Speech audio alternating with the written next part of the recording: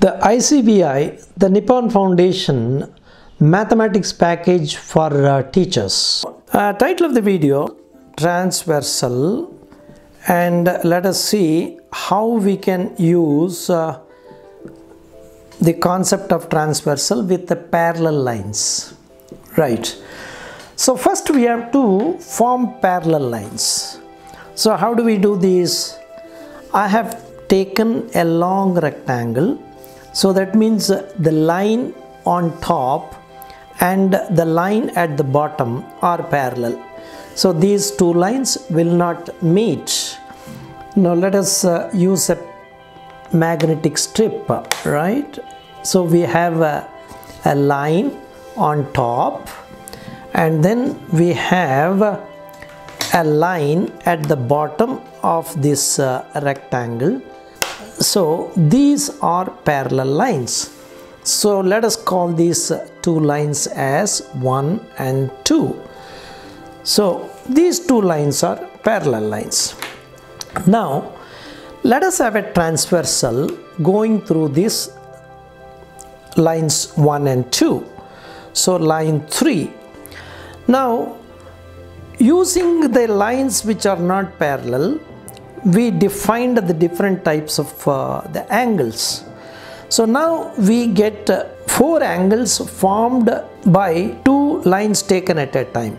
So we take the transversal 3 and line 1 we have four angles a b c and d.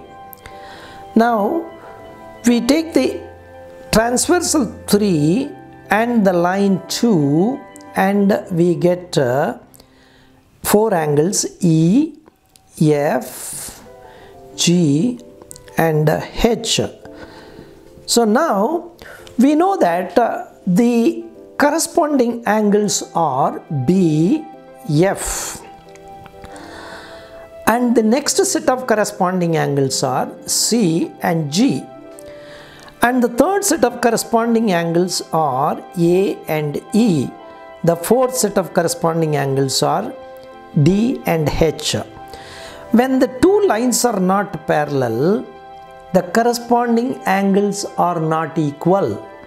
Whether these lines are parallel or not, the vertically opposite angles are equal. Whereas, in the case of these two lines not being parallel, the corresponding angles are not equal. When they are parallel, the corresponding angles are equal. Now we can measure that. Take a sheet and then measure that angle. So we are measuring the angle B, right? Now what happens? B and F are the corresponding angles. So what we find here, angle B equals angle F because they are corresponding angles. Now we know that the vertically opposite angles are also equal. So what happens now here B and F are equal because they are corresponding angles they are coming on the right of the transversal. The other property is that whether they are parallel or not, the vertically opposite angles are equal. So the D should be equal to B. Now D and H are corresponding angles. So the D is equal to H2 and H and F are vertically opposite angles. So what happens you know B equals F which is equal to D which is equal to angle H right?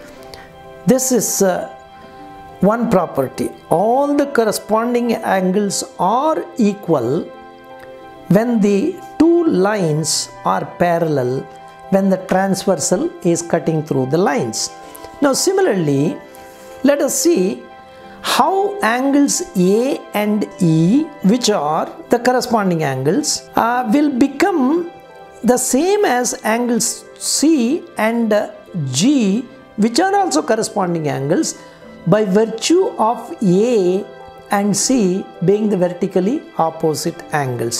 So let us take uh, the paper strip and we are measuring the angle A. Now you take that angle and place it on E. So you will notice that angle A equals angle E. Right. And uh, again what happens you know the angle A and angle C are vertically opposite angles. So we already reiterated you know whether the lines are parallel or not. Uh, uh, in the case of two lines intersecting each other, the vertically opposite angles are equal. So you can notice that A is equal to C.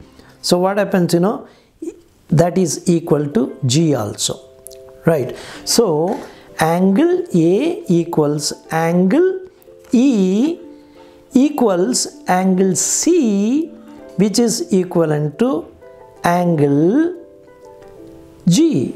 So again one more property we have to find out. Now here let us take a angle F. Now this is angle F. Now you can notice that angle F uh, is also becoming the alternate interior angle of D. So in the case of the parallel lines, in addition to the corresponding angles becoming equal, now you get the property as the alternate interior angles are also equal. And similarly, for example, you take the exterior angle A. What is the alternate uh, exterior angle to the angle A? Alternate exterior angle A, B, G and H because they are exterior. They are beyond the lines. They are not in between the lines. Now, you can notice that A is equal to G also. So that means, you know, the alternate interior angles are equal. The alternate exterior angles are equal. The corresponding angles are equal. So when the lines are parallel, you are satisfying lot of properties that uh, hold good uh, in the case of uh, a transversal going through two parallel lines. Uh, let us see the other properties of uh, the transversal in the final video on this topic.